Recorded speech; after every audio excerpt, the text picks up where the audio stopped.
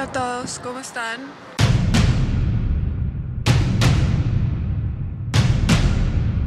Hace mucho tiempo que no hacíamos un vlog, hace mucho tiempo que no íbamos a un lugar interesante que valiera la pena y que uno dijera, sí, en serio, vale la pena mostrarlo.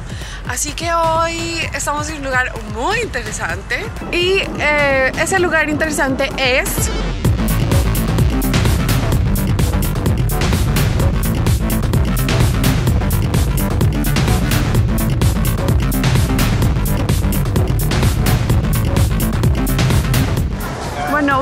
empezar con esta. em, es una montaña rusa.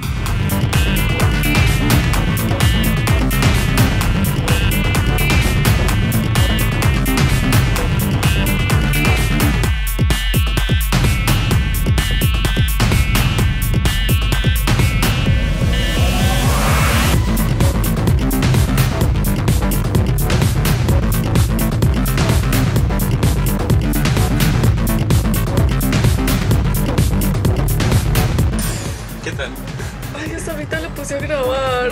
Sí. Bueno, primera experiencia súper chévere, me dolió mucho la cabeza y creo que de ahora en adelante no voy a grabar en medio de las montañas rusas porque no fue tan chévere y al final creo que la paré y fue un desastre.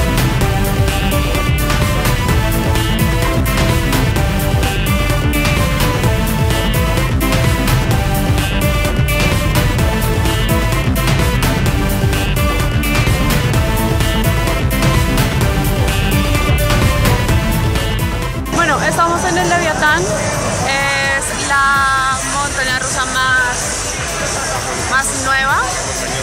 Y me ven así la cara porque no quiero que nadie haga cosas extrañas en la parte de atrás. Porque hay gente rara, muy rara. Y Gusti dice que esta es la única oportunidad que vamos a tener para poder subir rápido sin hacer tanta fila porque las filas acá pueden durar dos horas perfectamente. Entonces vamos a ver cómo nos va.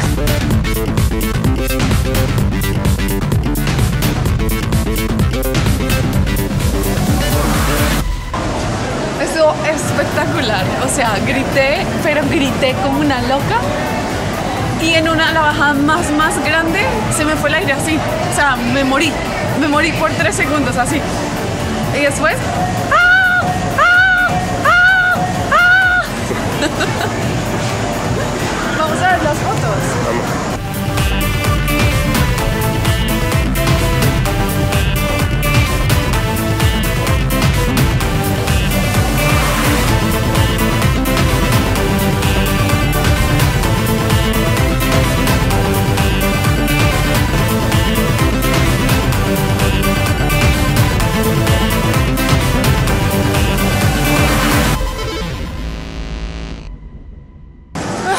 caíste? No, No. no me caí, pero casi se me sale el corazón así por la boca.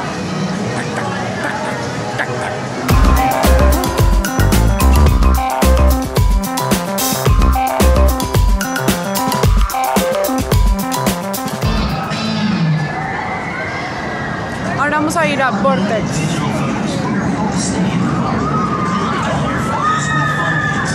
purchase the 1998 Honda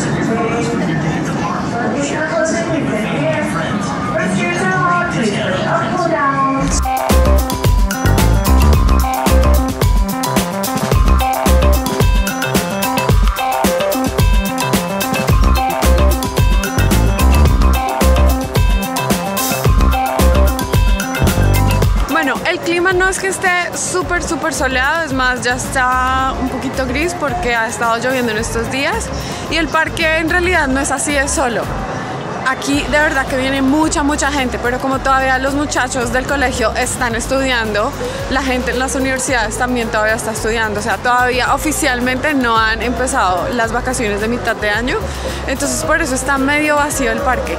Pero algo que me ha gustado mucho es que o sea, como que han pensado en todo.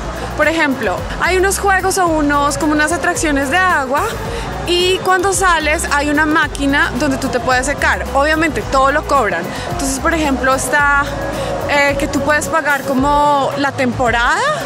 Tú puedes pagar también la temporada de parqueadero, la temporada de comida, la temporada de fotos de todas las montañas rusas en las que te subas o todas las atracciones en las que te subas.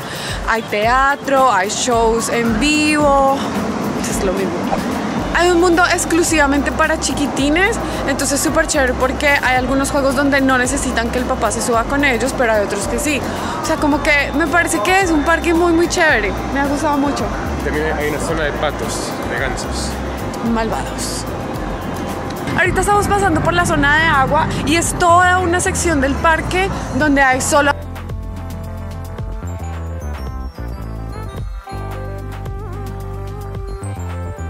Bueno, esta es la zona de la que les estaba hablando y es la zona de, agua.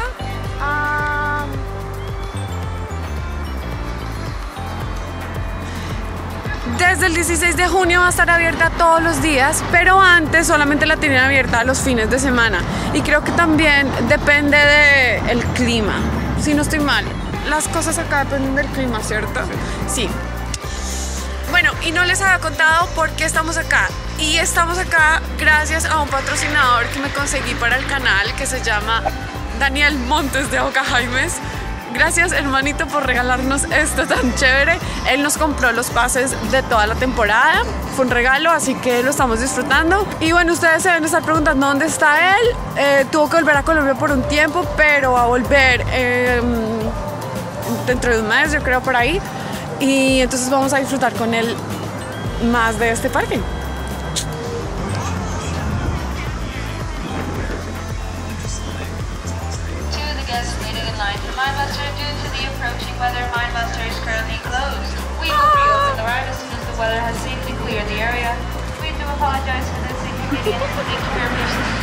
¿Nos puedes explicar qué pasó? Como Andrea nos explicó hace poco, hay cosas acá que no funcionan por el clima. Y como va a haber tormenta, va a haber tornado. ¡Oh, un chipmunk! Van a haber chipmunks por todos lados. Tuvieron que cerrar el, esa montaña rusa. Va a llover, así que cerraron esta. Y llovió, así que nos tenemos que ir, pero esto va a quedar en continuidad porque faltó más de la mitad del parque para mostrarles. Y como tenemos el Season Pass, pues vamos a volver y chao, nos estamos bajando, bye. Besos, abrazos, bye.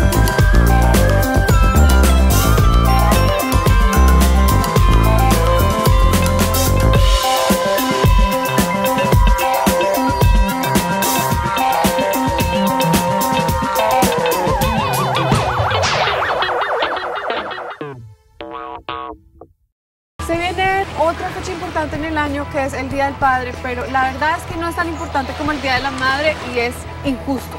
Yo creo que a un hombre se le conquista por el estómago. Entonces, primer consejo, dale algo de comer a tu papá, cómprale algo rico que a él le guste, prepárale algo rico. Hay miles de miles de miles de recetas en todo el internet.